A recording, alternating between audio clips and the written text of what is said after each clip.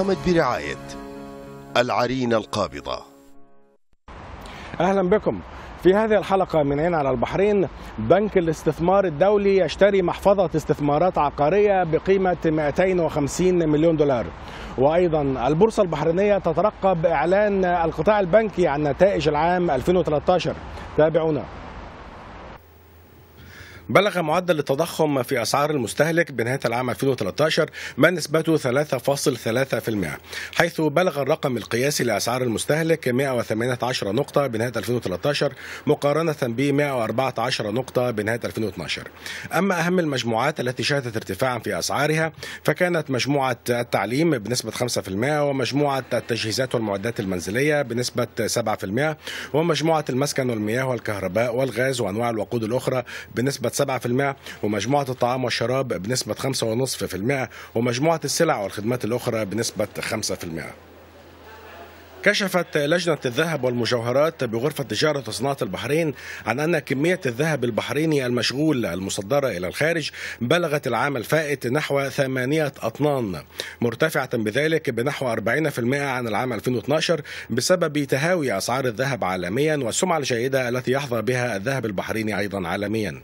واستطاعت صناعة المشغولات الذهبية البحرينية خلال العام الفائت دخول أسواق جديدة لأول مرة مثل أفغانستان وتركيا وشمال العراق كما أن هناك طلبيات كبيرة من أسواق أمريكا والهند. يشار هنا إلى أن 22 محلا للذهب في البحرين كانت قد أغلقت أبوابها بسبب الأزمة المالية العالمية ثم الأزمة السياسية البحرينية.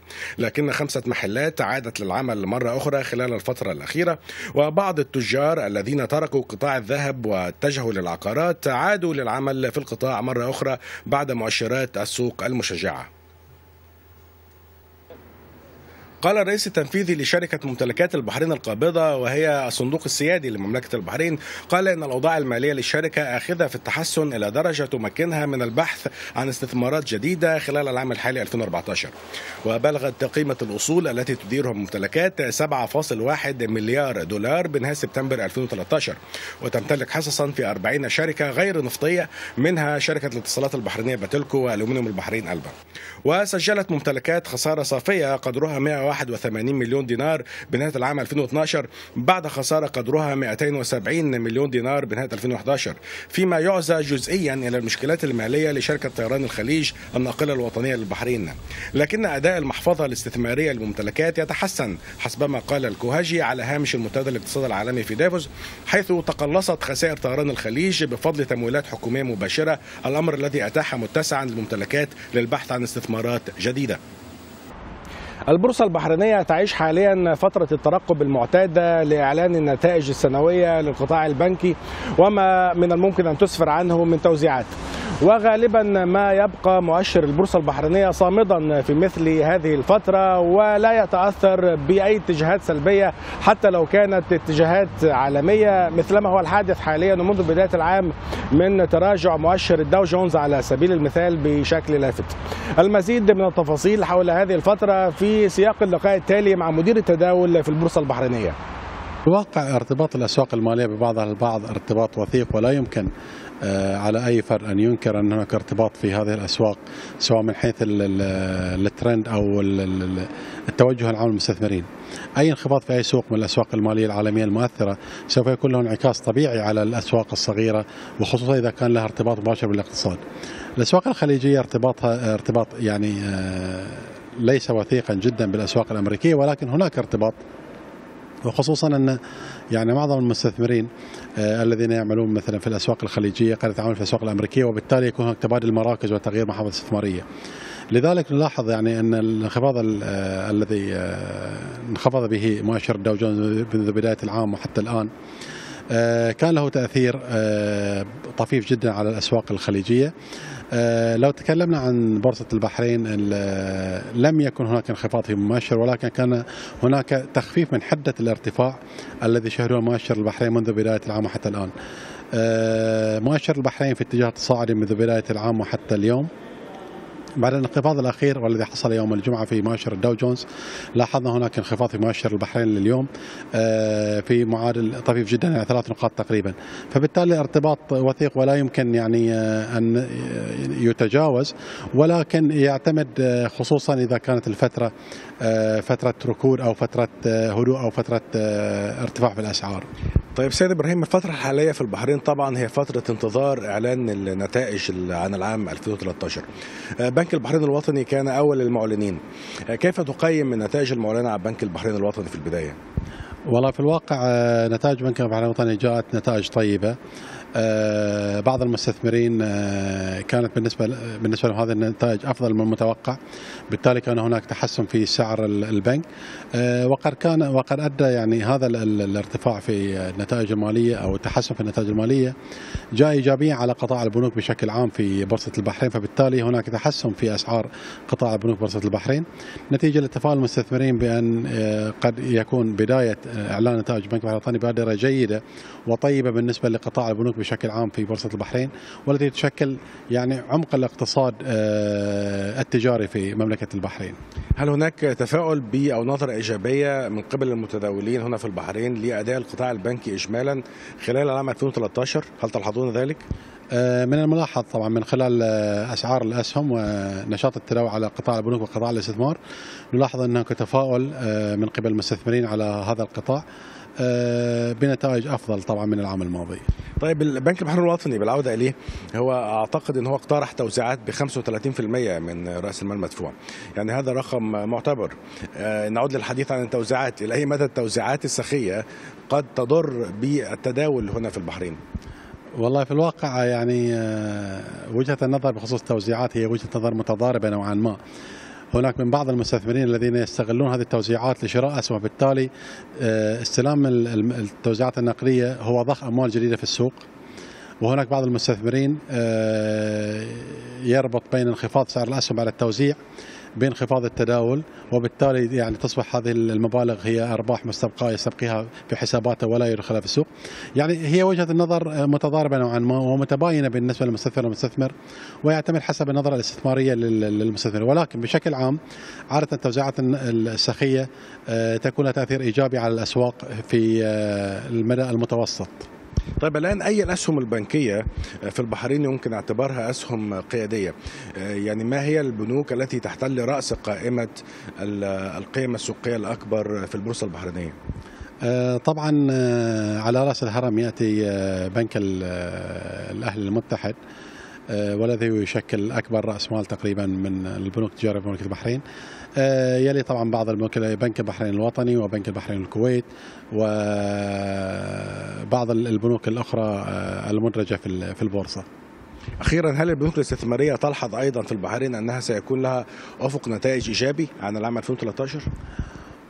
آه، في الواقع تحركات الأسعار على أسهم قطاع الاستثمار توحي بأن المستثمرين توقعات بنتائج طيبة بالنسبة للقطاع. أعتقد أن قطاع الاستثمار مرتبط ارتباط آه، يعني وثيق بقطاع البنوك التجارية. آه، نشاط قطاع البنوك ينعكس على قطاع الاستثمار ولو بصورة يعني آه، جزئية فأعتقد أن النتائج الجيدة لقطاع البنوك بالطبع تعني إن هناك نتائج إيجابية لقطاع الاستثمار. بنك الاستثمار الدولي أعلن مؤخرا عن صفقة مثيرة للاهتمام باستحواذه على محفظة استثمارات عقارية في الولايات المتحدة بقيمة 250 مليون دولار المزيد من التفاصيل حول هذه الصفقة وحول العوائد المتوقعة منها في سياق اللقاء التالي مع رئيس التنفيذي للبنك طبعا آه، إحنا آه، نمتلك 95% من هذا الاستثمار. 5% إلى شريكنا الأمريكي شركة أتلس آه، ريزيدنشال آه، فترة الاستثمار آه، راح تتراوح بين خمس إلى سبع سنوات. في هذه الفترة راح ندفع إلى مستثمرين ابتداء من 9.5% سنويا. راح يدفع هذا المبلغ كل ثلاث شهور. بعدين بعد سنة وسنتين راح نطور الدخل إلى 10 10 ونص 11% طبعا راح نحقق هذا من خلال إضافات وتصليحات وتطوير إلى العقارات نفسها لماذا توجهتم لهذا النوع من الاستثمار بالأساس سيد عابد؟ طبعا آه، إحنا قمنا بدراسة السوق الأمريكي ودراسة اللاعبين الأساسيين في السوق العقاري. تمكنا من نكون علاقة مع اطلس ريزيدنشال درسنا المحفظة عدة محافظ حقيقة. وفي النهاية ركزنا على هذه المحفظة. هي تتكون من 11 عقار سكني عبارة عن مجمعات سكنية مغلقة. آه، تتراوح يعني كل عقار يتكون تقريبا من 220 شقة سكنية. آه، الفكرة هي لما نستحوذ على هذه العقارات نطورها ويكون فيها دخل نطور الدخل وبالتالي ندفعه إلى آه، المستثمرين معنا وبخصوص التمويل هل تم الاعتماد على الموارد الذاتية للبنك أم على تسهيلات ائتمانية من مؤسسات مالية أخرى وشركاء؟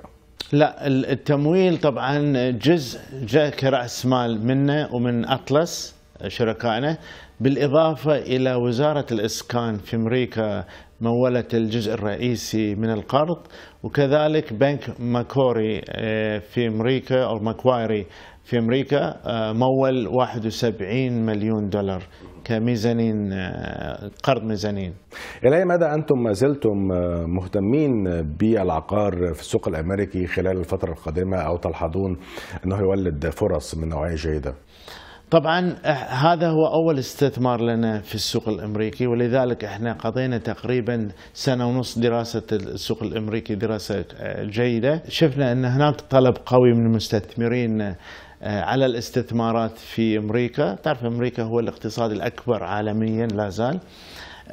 فراح نعيد الكرة حاليا كذلك ندرس استحواذ محفظة عقارية أخرى ربما يكون حجمها أصغر من هذه المحفظة. وبخصوص أوروبا العقار في أوروبا وفي لندن على سبيل المثال آه، هناك توجه يعني نوعا ما مكثف من المنطقة مؤخرا بالاستثمار في العقار في وسط لندن.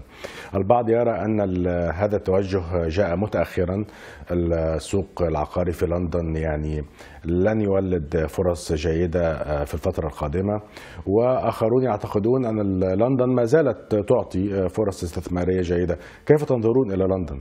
آه، حقيقة إحنا درسنا عدة استثمارات في في لندن في المناطق الرئيسية اللي يسمونها prime locations كنا على وشك إن نوقع عقد كبير مع شركاء في لندن بس بعدين ما تمكنا من إنهاء العملية هذه لكن لا زلنا نطلع إلى استثمار في لندن.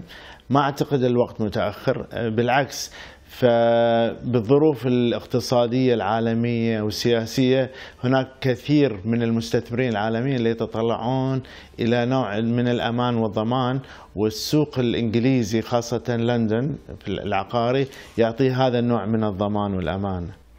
هذا الاستثمار الأخير لبنك الاستثمار الدولي سيد عابد يعني وضع علامة استفهام نوعا ما على توجهات المستثمرين الخليجيين للاستثمار العقاري في المنطقة. نعلم أن لكم شركاء من أصحاب الملاءه الماليه العالية والشركات العالية هنا في المنطقة. آه، إلى أي مدى آه، تقيمون النظرة الاستثمارية للمستثمر الخليجي بخصوص العقار في المنطقة وإلى أي مدى هو يعني ما زال مستعد ويرغب في الذهاب باستثماراته بعيدا؟ حقيقة المستثمر الخليجي مستثمر واعي ومثقف.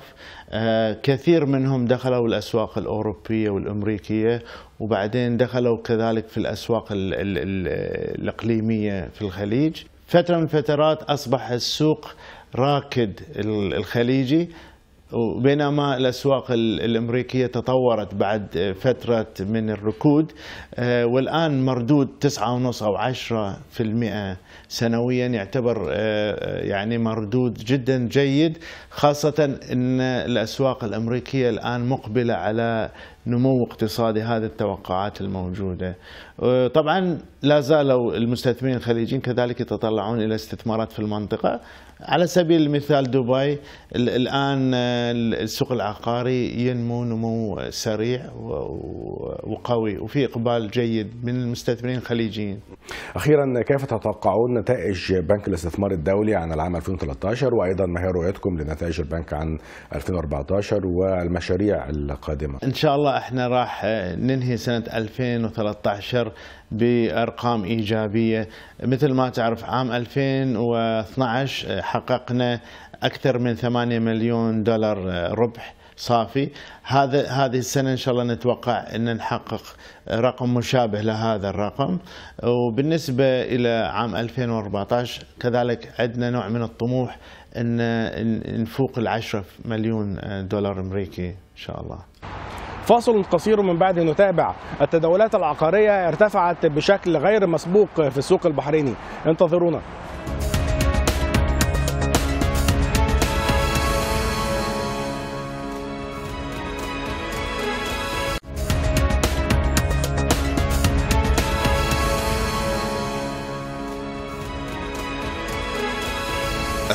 البرنامج برعاية العرين القابضة أهلا بكم من جديد.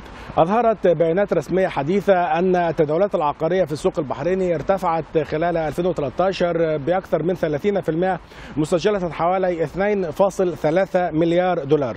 وهو ما يشير إلى أن سوق العقار البحريني بدأ يأخذ منحى صعودي قوي متجاوزا سنوات الركود الماضية وأيضا سنوات المخاوف السياسية. المزيد في سياق التقرير التالي. أعلن جهاز المساحة والتسجيل العقاري في البحرين عن تحقيق زيادة في التداول العقاري بنسبة 30% خلال عام 2013 مقارنة بالعام 2012 حيث بلغ مجموع حجم التداول حتى نهاية هذا العام حوالي 862 مليون دينار بحريني أي ما يعادل حوالي 2.3 مليار دولار. وقد ارتفعت التداولات العقارية للخليجيين في البحرين خلال 2013 لتسجل 12% من إجمالي التداولات العقارية بعد بعدما كانت 7% خلال العام 2012 لتعوض بذلك تراجع التداولات العقارية للأجانب والبحرينيين خلال 2013 حيث كانت تداولات الأجانب في العقار البحريني بنسبة 6% من إجمالي التداولات. بينما تراجعت التداولات العقارية للبحرينيين بنسبة طفيفة خلال 2013 مسجلة 82% من إجمالي التداولات بعدما كانت 84% خلال 2012 ويشير إقبال المستثمرين الخليجيين على العقار البحريني خلال 2013 يشير إلى تجاوز عقدة المخاوف السياسية التي أثرت على السوق خلال الأعوام الماضية كما يؤكد تعافي اقتصاديات دول الخليج المجاورة للبحرين وعودة مستويات السيولة المتاحة للاستثمارات الخارجية للارتفاع. طبعا كلامك صحيح. تكلمنا مع مطورين كثار من منطقة الخليج وبالأخص الكويت والمملكة العربية السعودية لبدء خلينا نقول أو لعمل الجوينت فينتشر مع شركة العرين القاضي لتطوير بعض الأراضي باستثمارات تفوق ال 100 مليون دولار كمرحلة أولية ومجموع أكثر من 300 مليون دولار في خلينا نقول المشاريع السكنية التطويرية. طبعا من ناحية المبيعات للمشروع مثل ما أنتم تعرفون آخر ثلاث سنوات كان في هدوء يعني بشكل عام في في العقار في البحرين. لكن مثل ما دائما أقول أن العقار هو مثل الولد البار. okay؟ ونفس الوقت يمرض ولا يموت. يعني اليوم شفنا إن في حركة غير طبيعية وطبعا positively للعقار في العرين هناك طلب كبير إن كانت من الوح الوحدات أو من كان من ناحية الكلاسترز اللي إحنا طبعا نملك جزء بسيط منها لأن أغلبيتها انباعت. لكن هناك طلب كبير لمطورين لتطوير هالمنطقة بسبب الخصوصية اللي تتمتع فيها طبعا يتمتع فيها مشروع العرين وأيضا بسبب أن هناك يعني قلة في من ناحية المشاريع والأراضي اللي اللي متواجدة حاليا في البحرين من ناحية نفس السعر وناحية أيضا الجودة. المحفزات التي يعطيها سوق العقار البحريني حاليا للمستثمرين تعتبر جذابة واستثنائية مع استمرار تدني الأسعار وأيضا عزم الحكومة البحرينية على البدء في مشروعات سكنية جديدة واستملاك عدد كبير من الأراضي إلى جانب أن البنوك البحرينية بدأت في التخلي تدريجيا عن تحفظاتها فيما يتعلق بالتمويلات العقارية.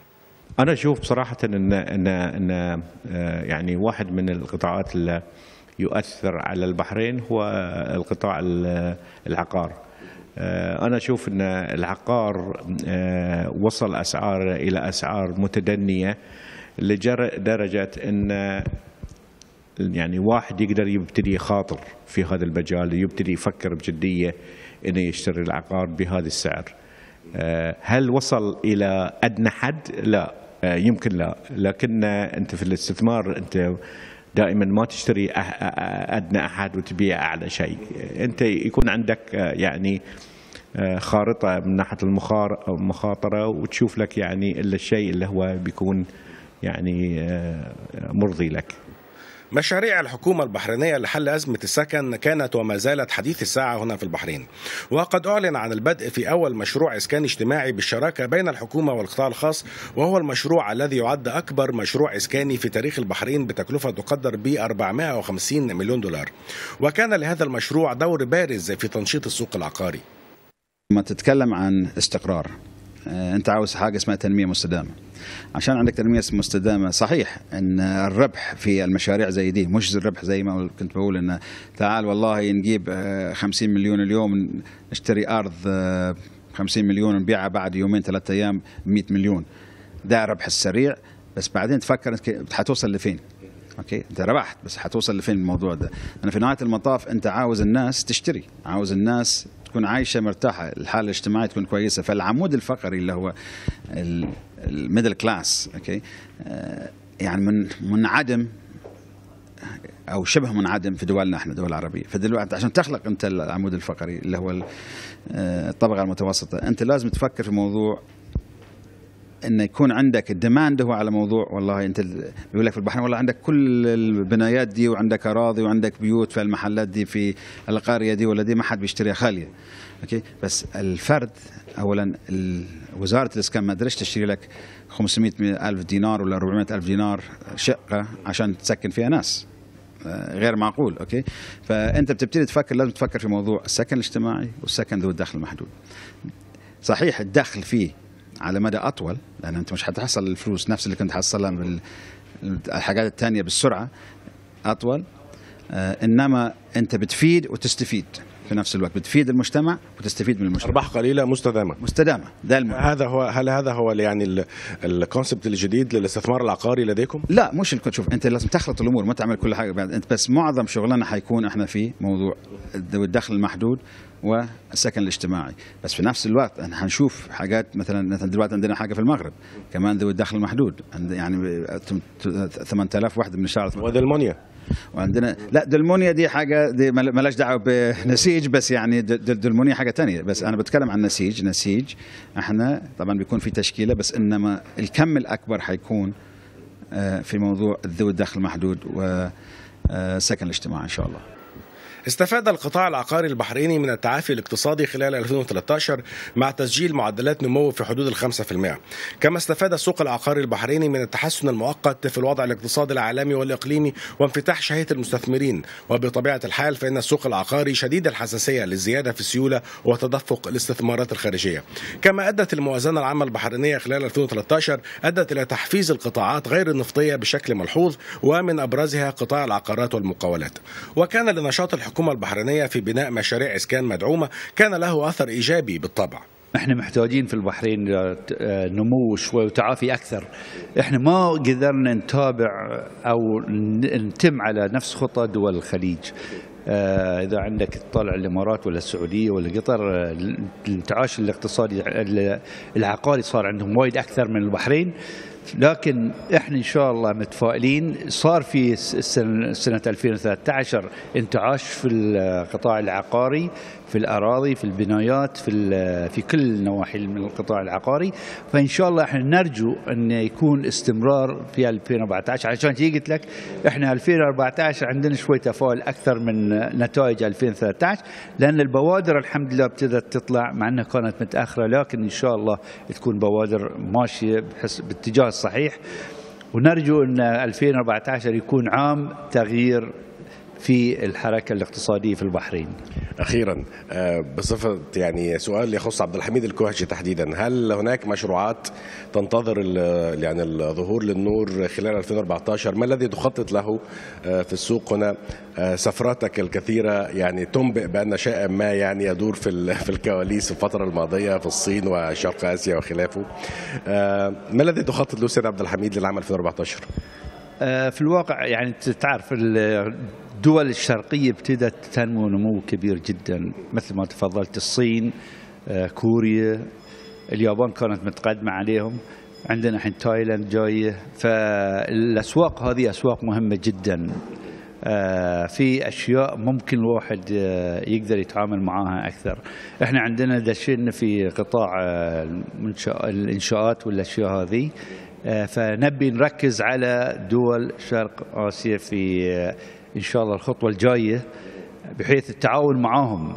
والسفاره الصينية نشيطة جدا هني ونفس الشيء السف- السفارة التايلاندية قاعدين يحثون التجار على التعاون مع دولهم.